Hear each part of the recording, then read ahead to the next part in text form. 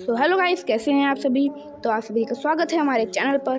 तो आज हम कंपैरिजन करने वाले हैं Indian gaur versus silverback gorilla की।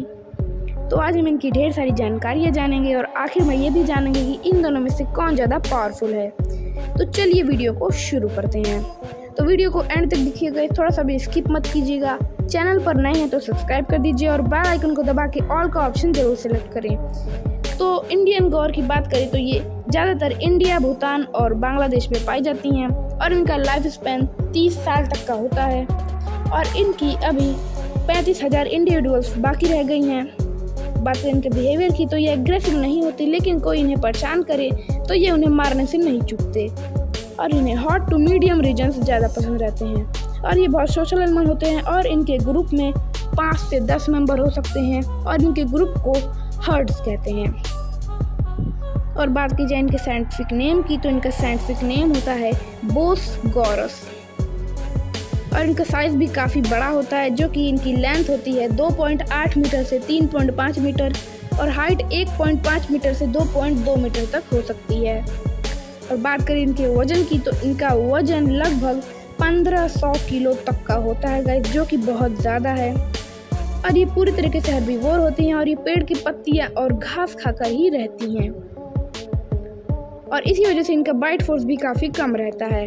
लेकिन इतने भारी होने के बावजूद ये 50 से 55 किलोमीटर प्रति घंटे की रफ्तार तक से दौड़ सकती हैं। बात करें इनके बच्चों की तो इनके बच्चे बहुत प्यारे होते हैं, जैसा कि आप स्क्रीन पर देख सकते हैं। तो अब जान लेते हैं सिल्वर बैक गोरिल्ला के बारे में। तो ये ज़्यादातर माउंटेन्स और फॉरेस्ट में पाए जाते हैं। और इनका लाइफ स्पैन लगभग 35 से 50 साल तक का होता है। और इनकी अभी सिर्फ़ और सिर्फ़ एक हज़ार इंडिविजुअल्स बाकी रह गई हैं। और बात करें इनके बिहेवियर की तो ये भी एग्रेसिव नहीं होते, लेकिन कोई इन्हें परेशान करे तो ये भी उन्हें मारने से नहीं चुकते। और इन्हें मीडियम रीजन ज़्यादा पसंद रहते हैं। और ये भी बहुत सोशल एनिमल होते हैं, और इनके भी ग्रुप में पाँच से दस मेंबर हो सकते हैं, और इनके ग्रुप को ट्रूप्स कहते हैं। और इनका साइंटिफिक नेम होता है गोरिल्ला बात की जाए इनके साइज़ की तो इनका साइज़ थोड़ा छोटा होता है, जो कि इनकी लेंथ होती है। 1.8 मीटर से 2 मीटर और हाइट 1.5 मीटर से 1.6 मीटर तक हो सकती है। और इनका वज़न की बात करें तो इनका वज़न डेढ़ सौ किलो से ढाई सौ किलो तक का हो सकता है, जो कि इंडियन गौर से काफ़ी कम है। और ये भी पूरी तरीके से हर्बीवोर्स होते हैं, और ये भी पेड़ की पत्तियाँ और फल खाकर ही रहते हैं। लेकिन इनके कैनाइन टूथ बहुत ही मज़बूत और बड़े होते हैं और इसी कारण इनका बाइट फोर्स भी काफ़ी ज़्यादा होता है, जो कि 1300 पी तक का होता है, जो कि इंडियन गौर से बहुत ज़्यादा है। लेकिन इनकी स्पीड 40 किलोमीटर प्रति घंटे की होती है, जो कि इंडियन गौर से थोड़ी कम है। और इनके बच्चे भी बहुत क्यूट होते हैं, जैसे कि आप स्क्रीन पर देख सकते हैं। तो आप जान लेते हैं कि इन दोनों में से कौन ज़्यादा पावरफुल एनिमल है। तो इंडियन गौर साइज़ और वेट के मामले में गोरिल्ला से आगे है, लेकिन गोरिल्ला के पास बहुत ज़्यादा बाइट फोर्स है। लेकिन इंडियन गोर के पास बहुत ज़्यादा मसल पावर है, इसीलिए गोरिल्ला का यहाँ बाइट फोर्स ज़्यादा काम नहीं आएगा।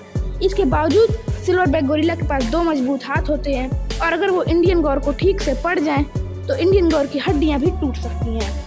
लेकिन क्योंकि इंडियन गौर बहुत ही मस्कुलर होती हैं, इसीलिए बहुत ही कम चांसेस है कि गोरिल्ला के अटैक से इनकी हड्डियाँ टूटे। तो यहाँ मुझे लगता है कि इंडियन गौर के पास पैंसठ प्रतिशत चांस है इस लड़ाई को जीतने का। तो आपको क्या लगता है? आप अपनी राय कमेंट में ज़रूर बताएँ। तो यहाँ हमारा विनर है इंडियन गौर